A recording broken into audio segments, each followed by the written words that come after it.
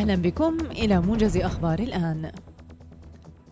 نجحت قوات سوريا الديمقراطية في تحرير نحو 45% من مدينة الرقة منذ انطلاق عملياتها العسكرية هناك ضد تنظيم داعش. وقالت المتحدثة باسم حملة تحرير الرقة إن سوريا الديمقراطية حررت ثمانية أحياء في المدينة بعد مرور 47 يوما على انطلاق العمليات العسكرية. شنت الطائرات العراقية ضربات جوية على مواقع لداعش في قضاء العفر تمهيدا لانطلاق العمليات العسكرية لتحرير المنطقة بحسب ما أعلنت وزارة الدفاع العراقية. وقال المتحدث باسم الوزارة إن الضربات استهدفت مواقع لتجمعات التنظيم ما أدى إلى حدوث ارتباك كبير في صفوف أفراد داعش. أصدرت الدول الداعية لمكافحة الإرهاب السعودية والإمارات والبحرين ومصر قائمة جديدة لأفراد وكيانات إرهابية تضاف إلى قوائم الإرهاب المحظورة لديها.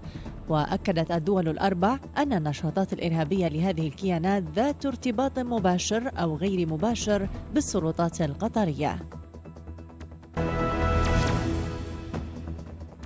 أعلن مسؤول في الأمم المتحدة أن 30% فقط من مساعدات ضرورية تم جمعها للاجئين الفارين من جنوب السودان. ما يثير مخاوف من توقف تلك المساعدات. وفر نحو مليوني مواطن من جنوب السودان وقتل عشرات الآلاف منذ اندلاع حرب أهلية قبل نحو أربع سنوات.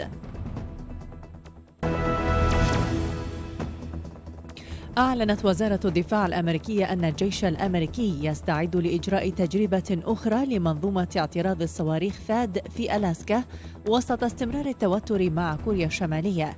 وأجرى الجيش الأمريكي في وقت سابق تجربة ناجحة لمنظومة ثاد لاعتراض هدف متوسط المدى.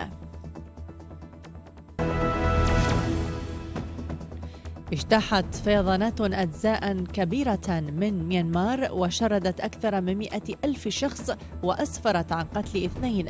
وارتفع منسوب المياه بالطراد منذ بدأت الأمطار الموسمية الغزيرة في وسط ميانمار مطلع الشهر الجاري ما دفع البعض إلى اللجوء إلى مناطق مرتفعة.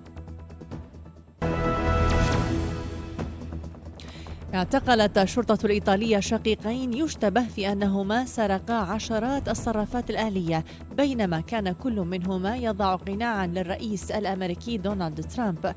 ويعيد ذلك إلى الأذهان فيلم بوينت بريك الذي تقوم فيه عصابة بوضع أقنعة لرؤساء أمريكيين سابقين أثناء سرقة البنوك.